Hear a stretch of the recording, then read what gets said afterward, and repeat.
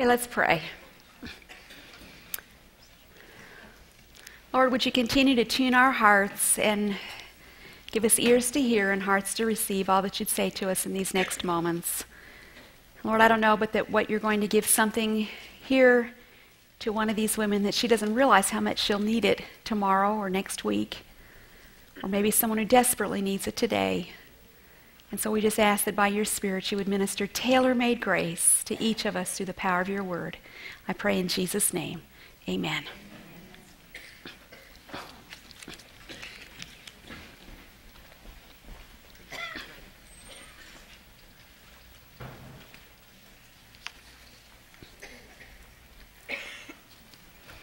I read a book not too long ago by Richard Swenson called The Overload Syndrome. People pick up that book when they're already in overload and they don't know what to do. And uh, in that book, he talks about things like chronic activity overload. Isn't that a 21st century term? He talks about an unprecedented stress epidemic. And he says that most of America is in a hyper stress environment. And isn't it true if you talk to women today and you say, How are you doing? The adjectives you'll hear are things like busy, too much going on, stressed, over, overwhelmed, overcommitted, and I think all of us know something about that lifestyle, probably too much. He has a chapter in that book called Hurry and Fatigue. And in that chapter, he says, even our sentences are peppered with such words as time crunch, fast food, rush hour, frequent flyer, expressway, overnight delivery, and rapid transit. The products and services we use further attest to our hurry. We send packages by Federal Express, use a long distance company called Sprint, manage our personal finances on Quicken, schedule our appointments on a day runner, diet with Slim Fast, and swim in trunks made by Speedo. Well, probably not most of us. He says, We are plagued by this hurry sickness. We live in a nanosecond culture, wheezing and worn out. Americans are, if anything, exhausted. He says, We are a nation of the hard-wired and dog tired. Now, it'd be really funny if it weren't so true. And I find Christians in all seasons of life, all situations, all ages. I mean, single, married, with children, few children, lots of children, empty nest, older, working outside the home, not working outside the home, involved in many different things. I just find this is way too common among us as Christians, and certainly way too common a description of my own life. And that's why the Lord takes me back uh, to this Psalm 23, and it's such a help and an encouragement and sets perspective for me. The Lord is my shepherd, I shall not want. Verse 2 He makes me lie down in green pastures, He leads me beside still waters. Or some of your translations say, He leads me beside waters of rest. Doesn't that just sound great?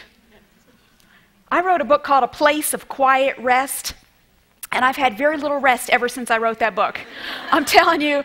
And sometimes I find I need to go back and read that book. And I, I love the cover. I can't take any credit for this, but it's this beautiful, idyllic scene on the side of some really peaceful lake. And I just look at that picture and I say, I don't know where that is, but I would love to be there. I'd love to go there. And I think of David saying in the Psalms, Oh, that I had wings like a bird, then would I fly away and be at rest. I would hasten my escape from the windy storm and tempest. And we find ourselves caught up in these, in these tornadoes of activity, this frantic busyness, desperately needing these green pastures and to quiet our hearts at these waters of rest, these still waters. It talks about green pastures and still waters in this verse. And I think that's a reference to finding rest and refreshment for our hearts. And when your heart is rested and refreshed, then the rest of you will, able, will, be able to be rested and refreshed. The problem is we just focus on our bodies, and you, sometimes you can get your body rested and refreshed, but your heart isn't rested and refreshed, and you're still in turmoil. I'm so glad God cares about sanctifying us, body, soul, and spirit, all parts of us. But rest and refreshment. You know, we're talking about sheep and shepherds here. Before sheep can be productive, before they can provide wool and meat, they have to be healthy. They have to be mature. They have to be well developed. But in our Christian lives, we tend to put productivity first and to just ignore our spiritual health and to say, you know what, unhealthy or immature souls cannot be truly productive as God measures productivity. So we say, the Lord is my shepherd. He gives me lots to do. I've got a family to care for. I've got other people's needs to be met. I've got a job to do. I've got a class to teach. I've got work to do at my church. I've got this committee to be on and that committee to serve on and this place to go and this thing to do. And He uses me to win others to Christ and He makes me a good wife and a good mother and a good homemaker and He helps me get my work done. The Lord is my shepherd and I'm out of breath. That's not the mindset you see here, is it? No, first, the Lord is my shepherd. He makes me lie down in green pastures. He leads me beside still waters. Why? So we can get food and drink, refreshment, nourishment before we try and go out and be productive. Many of you have been nursing moms at one time or another. And you know that a nursing mother has to be well nourished herself before she can provide quality nourishment for her thirsty babe. And if the mom's diet isn't a healthy one, if you're eating too many spicy foods, you may end up with a colicky baby, right? You're going to give out what's been put into you. And that's what so many of us are doing in trying to minister to and disciple others. We're feeding them that frantic, frazzled, frustrated stuff we're living on. And trying to nourish others when our own hearts are not nourished. Some of us are spiritually malnourished. We're trying to meet everyone else's needs, trying to provide nourishment to others, trying to be productive, but we're falling apart. We're burnt out. We're running on fumes. We have nothing to offer. But people today, and even within the church, sad to say, we tend to be impressed by busyness. How many activities you're involved in, how much you get done, I mean, in our 21st century world, it sounds kind of lazy, kind of unproductive to talk about lying down in green pastures. It's like somebody lives on a cruise ship or something, you know? I mean, it's get a life. And we're not impressed by that, hanging out by still waters. But I want to tell you hurry is the enemy of spiritual intimacy. As you read the Gospels, you see the pattern of Jesus' life. One of the things that strikes us as we read them is that Jesus never seemed to be in a hurry. Now, it's not that he wasn't busy. You read in Mark chapter 1, one day in the life of Jesus is enough to wear you out reading about it, but Jesus doesn't seem stressed by it. He never seems to be in a hurry. You never read about him running. Now, I'm not saying he didn't, but isn't it interesting that God didn't think it was important enough, if he did, to put it in the scripture? You do read about him walking. You read about him sitting at the well in the middle of the day. Get up, Jesus, it's time to work. What are you doing sitting down in the middle of the day, Mom? There are things to do. You read about him sitting, you read about him reclining at meals, you read about him sleeping in the boat when there's a storm going on and everybody is in a dither. What's Jesus doing? Sleeping. I mean, it's just kind of counterintuitive to the way we function. You think we could have been in that storm sleeping? I mean, even if you weren't afraid of the storm, what are we going to do? We're women. We're in charge. You know, we got to control things. We got to fix it. We got to find a way to settle the storm or to settle the people who are afraid in the storm. But you don't find that out of control, frantic Jesus. I'm going to tell you, hurry is not conducive to godliness. It's not conducive to relationships. It's not conducive to spiritual growth. It's not conducive to mothering. It's not conducive to being a good wife. It's not conducive to being fruitful in your church. It's not conducive to discipleship and relationships. You know, with your children, you can't just schedule, okay, here's your 10 minutes discipleship time and ask me all your important questions, 13 year old. When's a 13 year old going to open up? When you were least expecting it. Late at night when you're exhausted, right? That's when they'll talk. That's when they'll open up. And if you are living a hurried life, you will miss some of the most important, valuable, precious opportunities to pour into the lives of others. So often I find myself, even at a conference like this, going from point A to point Z, and I'm going in a straight line, and anything between here and me is in my way and better get out of the way. And I'm embarrassed to tell you that, but that's kind of how we're wired to think. Always running late, no margin, no time. And so we miss the woman with the issue of blood who comes pressing through the crowd and just wants to get some life, some health. Because we're on our way to Jairus' house.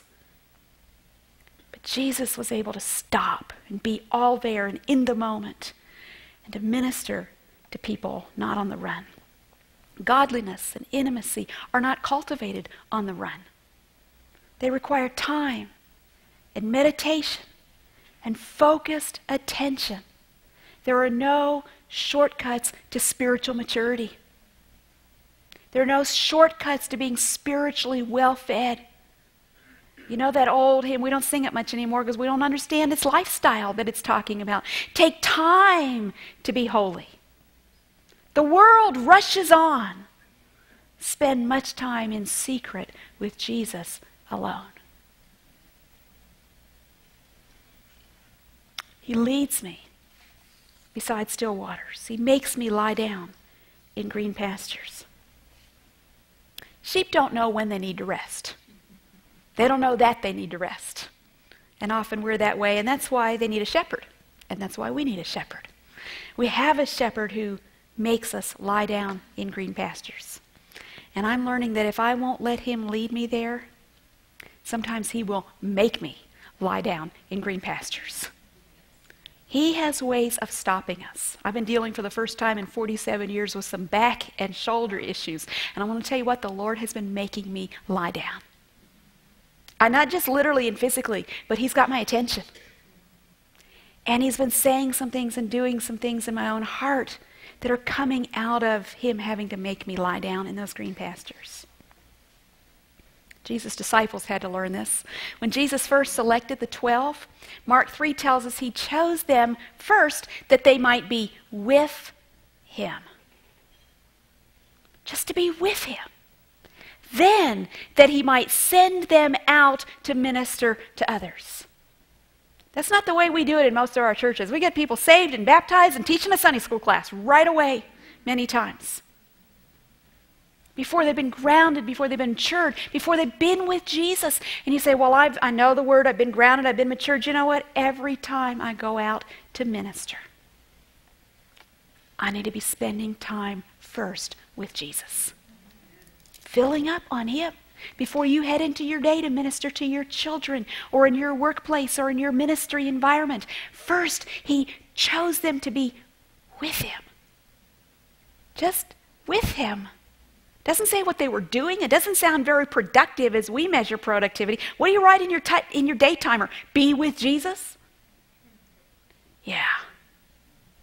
Put it in your day timer if you need to. Be with Him. So nobody else may be impressed at what you're doing with that time. But I'm telling you what, God is showing me that if I do not have fullness of heart before I go out and give out to others, I don't have a ministry. I may have an organization, but I don't have a ministry. Others may be impressed for a while, but if I don't get replenished and get with Him, then I'm just giving them, I'm filling their notebooks, but I'm not filling their hearts. It's Christ who gives life. It's Christ who is the living water. It's Christ who is the bread of heaven, the bread of life. And I've got to be with Him to get filled with Him so that I have something to give to others. And then after we've poured into others' lives, we need to come back to Him to get replenished. Mark chapter 6 tells us in verse 30 the apostles returned to Jesus after a ministry trip, a time of active ministry, and they told him all that they had done and taught. And he said to them, Well, go out again. Not yet. What did he say? Come away by yourselves to a desolate place and rest a while. He makes me lie down in green pastures. He leads me beside waters of rest. For many were coming and going, and they had no leisure even to eat. Isn't it interesting that God supplies that detail? Do you think God knew about the 21st century when the scripture was written? Of course he did. You think he knew that we'd be a generation just eating on the run, doing everything on the fly, sometimes not even having time to eat, so we're just gulping down our, you know, milkshake with all the nutrients in it, or you know, just no time for meals, no time to sit down. No t- of course, he knew. So he called them, Come away by yourselves with me to a desolate place. And they went away in the boat to a desolate place by themselves. They had poured into others' lives. Now they needed to get refilled, they needed to get replenished. And it's in those quiet times, those quiet places with the Lord, that we get replenished so that we're able to go back out and face the needy crowds again. And we need it again and again and again. Now, Palestine, the land that David would have been familiar with as a shepherd himself, and knowing sheep in those and their needs, uh, the land of Palestine is a it's an arid, barren desert land. It's not easy to find green pastures and still waters.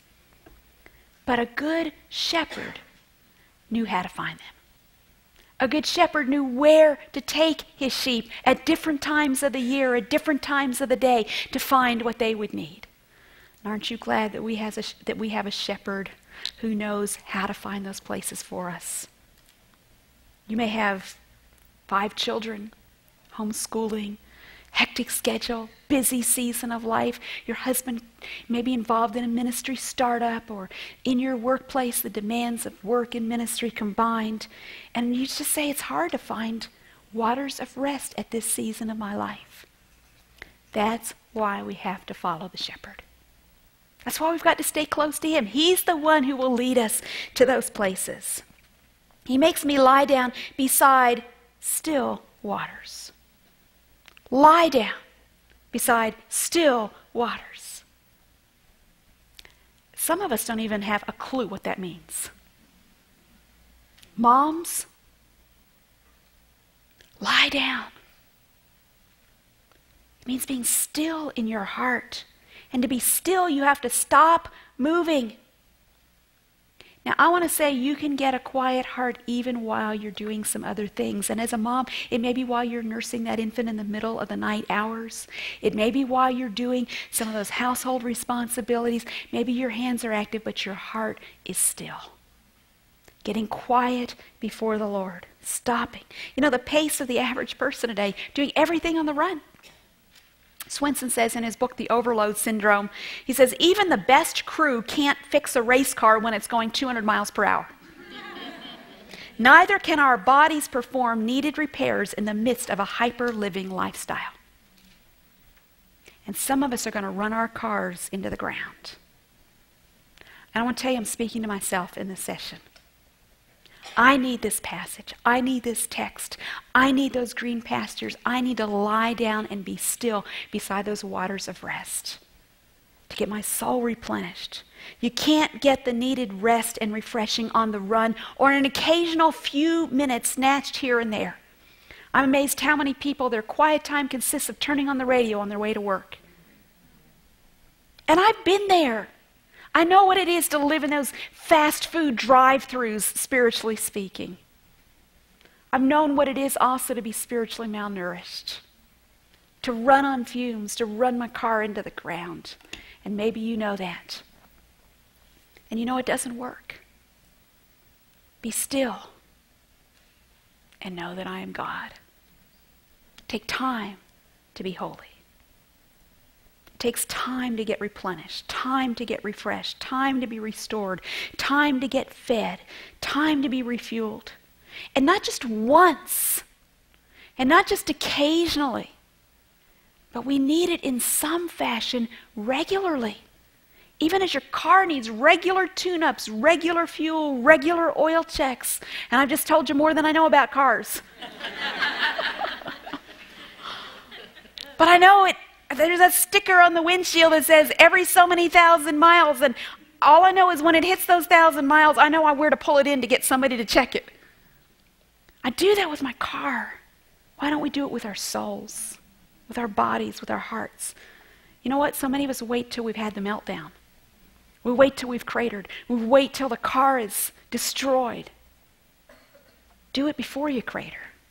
Don't wait until you've gone into this hyper stressed mode that Swenson talks about in his book, Hyper Living.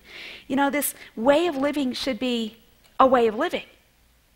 He makes me lie down in green pastures, He leads me beside waters of rest. Now, that's not all there is to this life, and in the next two sessions, we'll see more of this life of a sheep with our shepherd. But it's a crucial part, a way of life, getting our souls replenished. In the last couple of years, I've made a couple of changes that have been have made a huge difference in my own life. And I'm not standing before you here to say that I have no more stress. I actually I've had more stress come into my life since starting these practices, but these are helping to balance out my life. And I'm not telling you to do it this way, but I'm telling you what's been hugely helpful for me. Number one is I started um, within the last couple of years taking computer free Sundays. Now, for you, that may not be a big deal. You may not live on the computer, but my life is like it's there's an umbilical cord between me and my computer. And it's all the time, hours and hours and hours. That's where I'm doing my studying. That's where I'm leading the ministry, working on email, working on projects, writing books, etc. And I started within the last couple of years, Saturday night when I'm done my workday, I turn off that computer and don't turn it back on until Sunday morning, uh, until uh, Monday. that was big of me. until Monday morning. And it's been huge. Now, I was in a way, practicing the Sabbath before I would be in church on Sunday be taking time on the Lord's Day to do things centered around the church. But then I would go back to work late afternoon or evening, and I could still get in a good shift of work and say that I'd taken a day off. God wired us to need a Sabbath. Now, in your life and ministry, Sunday may not be the day that you're able to do that. But for me, it's been a huge thing to take that one day a week, 36 hours or so, shut down in terms of my normal work and routine. I've started within the last year. Um, it's something that my board challenged me to, and it's been a huge gift from the Lord. And that is spending quality, extended time alone with the Lord in the morning before I check email. Now, again, for you, that may not be a big deal because you may not be into email. But email was running my life, and it was becoming a huge distraction in my relationship with the Lord. And I would have my quiet time, but if I started just checking my email first, seeing what had come in from the office, what I needed to do, sending someone else, you know, then by the time I got to the Word, I didn't have a quiet heart anymore. I wasn't sensitive to the Lord, and starting my day that way has been huge.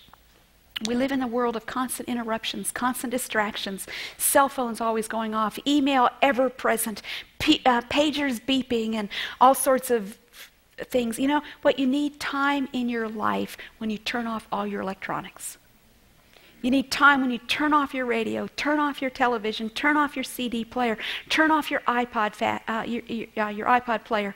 In our conferences, Revive Our Hearts conferences, we challenge people from Friday night when the conference ends, session ends, until Saturday when the conference ends, to take a media fast.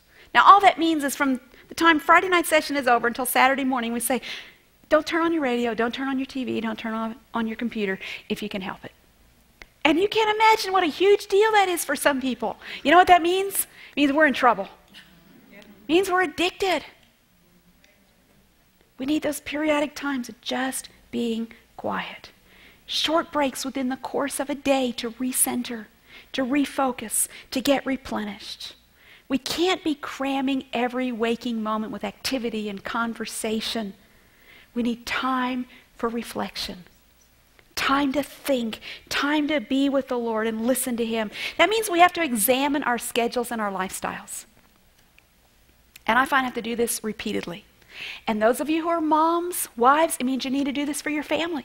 I see families who are loving the Lord, serving the Lord, but they are running around like crazy people with schedules and ball games and practices and sports and plays and piano practice and music lessons and good things.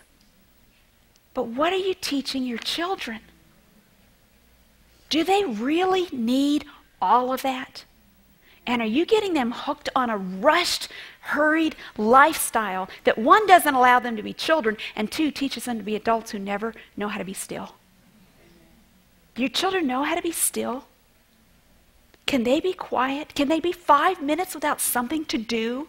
You say, I can't get a quiet time because I got children. Listen, when your children are pretty young, they can be taught to be still, to read or play quietly in their room while mom spends time with the Lord. Your children need to learn this. It may mean making some tough choices, but I'm telling you what, if we don't, we end up frazzled and frenetic and frantic and frustrated. Martha. Bossing the Lord around. Lord, tell my sister to come in and help me.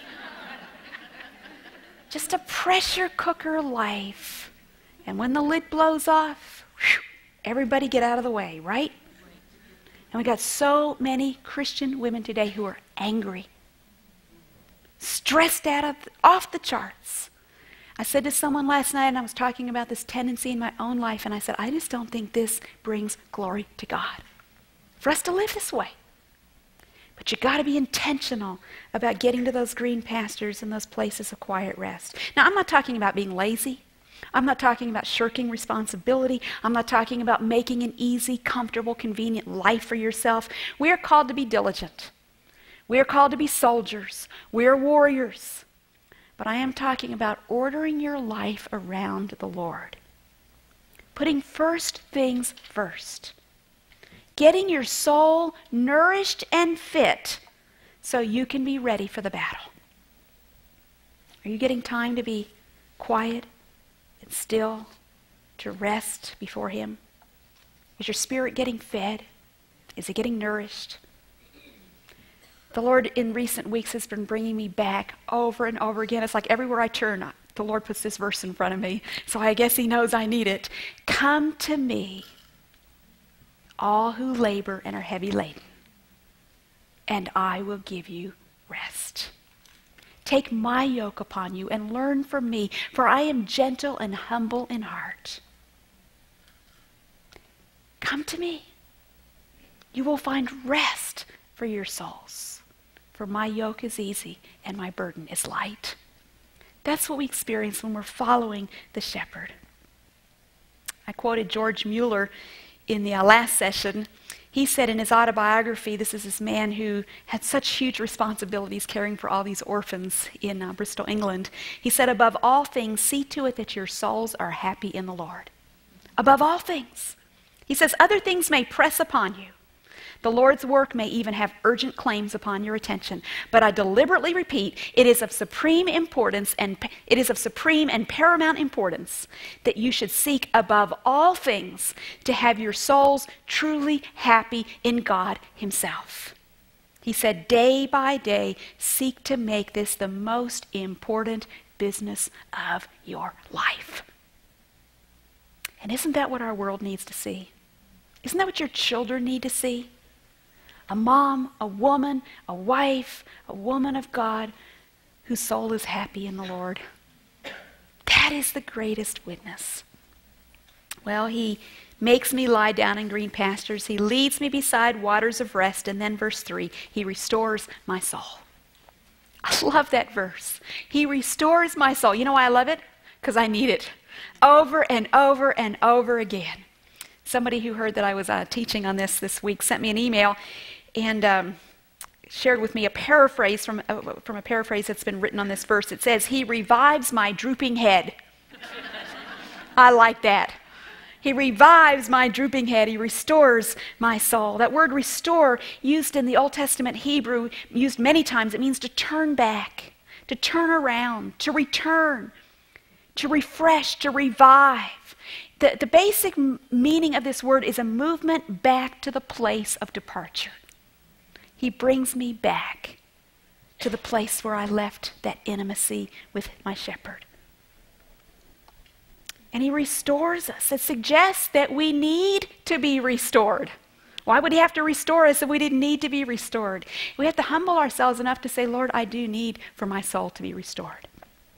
the shepherd that David uh, he understood about sheep and shepherds and he knew that when his sheep were hungry or tired he would need as a shepherd to find refreshing for them food and water and a place to rest and he knew sometimes they need to be restored in a different sense. When they had strayed off, when they had wandered off from the flock, they would need to be brought back, brought back to the place of departure, restored.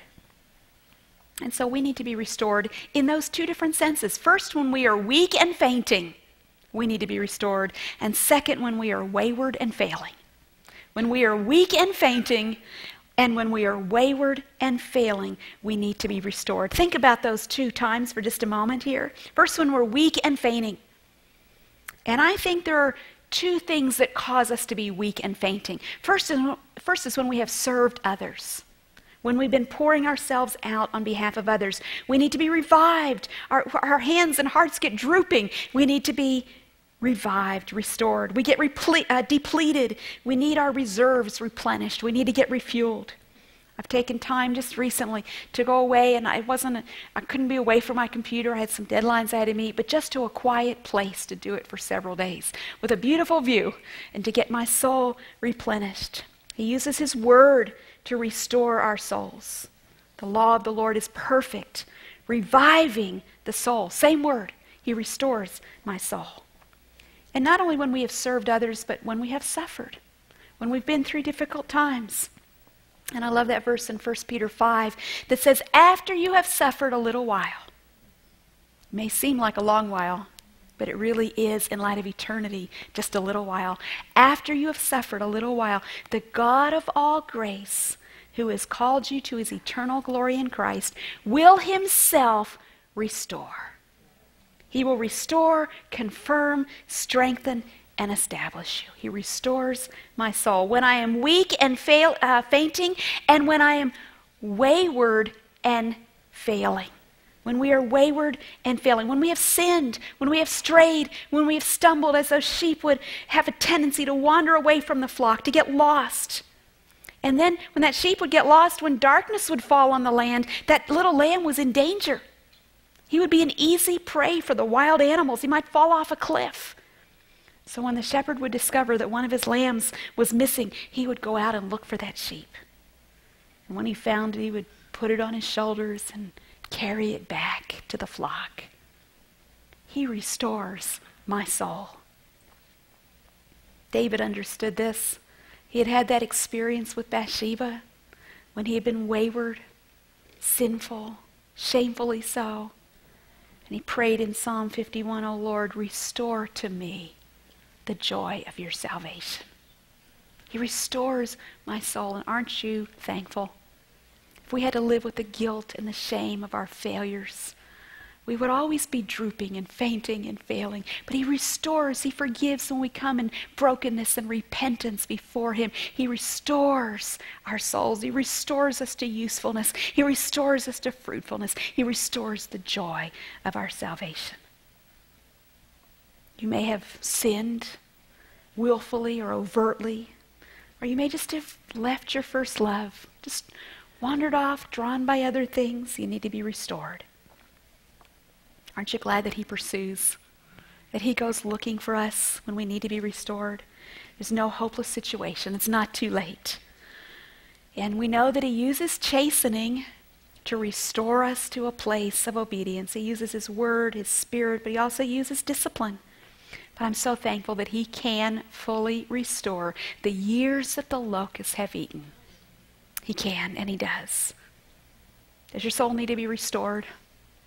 That may be why you've come to this conference this week. And we all need that.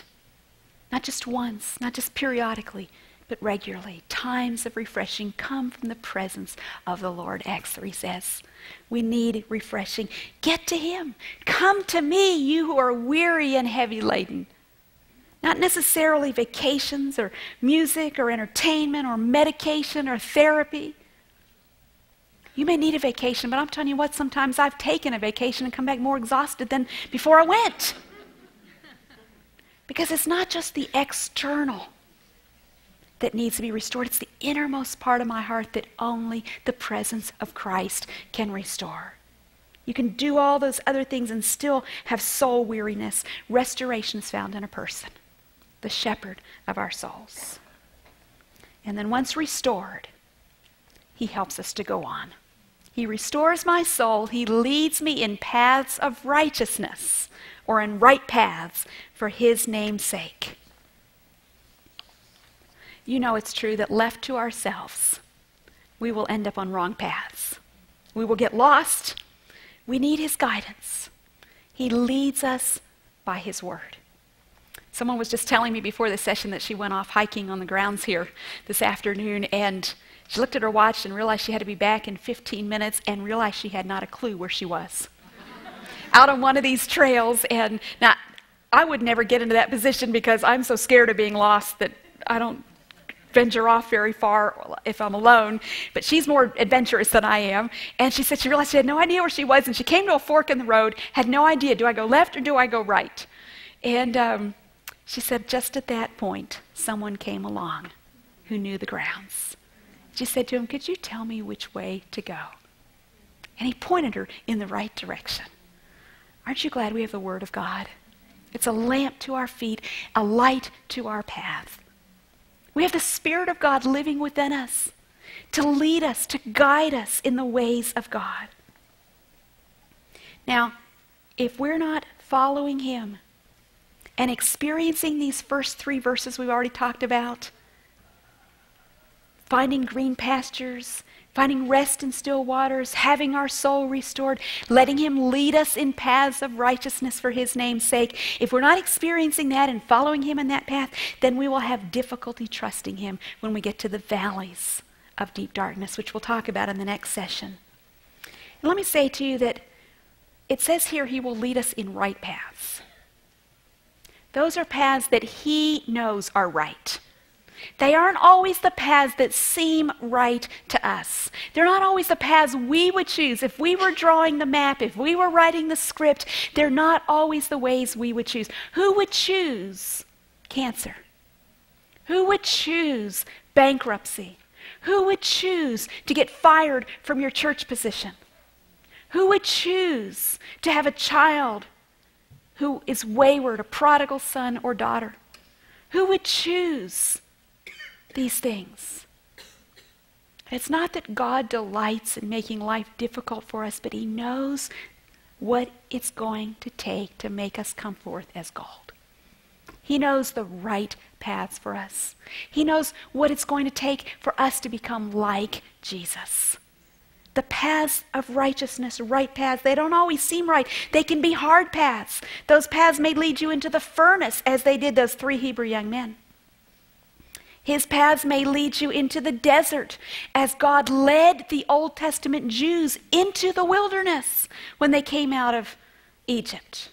And as he led his own son into the wilderness to be tempted by the devil for 40 days, who led Jesus there? The Spirit of God. But it was a right path. He leads me in right paths. He may lead you into the valley of deep darkness, the valley of the shadow of death. But if He leads you there, then it will be for you a right path. And when it's hard, and when you can't see your hand in front of your face for the fog or the darkness, know that if He led you there, He will walk you through it. We'll talk about that more in the next session. If He led you there, it's a right path fulfilling his eternal purposes. And what's the purpose? He leads me in the right paths for his name's sake, for the glory of his name. And ladies, we have to come to the point where we care more about his sake and his name than our own. Lord, if it pleases you, it pleases me. If this is for your glory, and for your name's sake, then it's what I choose. You see, we exist for God, He doesn't exist for us. And our reason for living is to bring glory to His name. The God of the universe does not exist in order to save your broken marriage, or in order to get you out of debt, or in order to get your congregation to like you better, or in order to help you cope with stress. God is not this, you know, magic genie bottle that you just, you know, he just comes out and makes all our problems disappear. He does not exist to serve us. We exist to glorify him. Not to get him to meet our needs or to get him to do what we want him to do. Scripture says all things are of him and from him and for him and to him. All things. Even your pressures, even your problems, it's all for him. It's for his name's sake. And what if God will be more glorified by my life having hard places, but people seeing that I trust my shepherd in the midst of the hard places, and God is glorified and other people are drawn to the shepherd? What if that brings God glory? Can I say, Lord, then yes, I will walk in those paths. I will let you lead me to that hard place. Everything in heaven and on earth revolves around him. He is the sun of our universe. And that's the perspective we need as we walk in these paths. And remembering that the way we live, the way we respond to pressure, the way we respond to heartache, the way we respond to the fiery furnace and to the desert, the way we respond in the valley of deep darkness is always proclaiming what we believe about God. It was John Wesley who said, Our job is to give the world a right opinion of God. And one of the things that saddens me so deeply, if I have any regrets in my life to this point, it's the number of times when my response to hardship did not give a right impression of God. When people would have looked at my life and thought, she's got a hard taskmaster. I don't know that I'd want to serve him. Oh, he is an incredible Lord and lover and leader and God. I know that in my heart. So, in the hard times, how can I proclaim him to be the great shepherd that he is? His reputation is at stake. The way I respond reflects on him. So let him choose the right paths for you. And be careful about comparing with the paths that he chooses for someone else. Lord, that woman over there, all those people over there, why did they, their lives seem so easy? They don't have to go through this. And some of you are going through things that most of us will never experience. You know what? Let Him choose the path for you. And His grace will be tailor made to the path that He chooses for you. There have been times, I confess, when I have wondered deeply is this really a right path? Thought I'd been following the Lord. I believed that I had been, but it seemed so hard. I wondered, am I really supposed to be here? And is He here with me? I want to tell you, looking back, I can see now that His paths, His choices for me have always, always, always been right. And I only have a glimpse of that now. But in heaven, we will look back and we will say, Lord, you did all things well. It was Fanny Crosby who wrote that hymn that's become such a treasure to the church in her blindness, in her weakness, in her difficulty. She needed a shepherd. And she said, All the way my Savior leads me, cheers each winding path I tread, gives me grace for every trial feeds me with the living bread. Though my weary steps may falter and my soul athirst may be, gushing from the rock before me, lo, a spring of joy I see. All the way my Savior leads me, oh, the fullness of his love. Perfect rest to me is promised in my Father's house above. Perfect rest is until then. Rest now perfect rest then. When my spirit, clothed immortal, wings its flight to realms of day, this my song through endless ages, Jesus led me all the way. The Lord is my shepherd, I shall not want. He makes me to lie down in green pastures. He leads me beside waters of rest. He restores my soul. And then he leads me in paths of righteousness, right paths, for his name's sake. Let's thank him.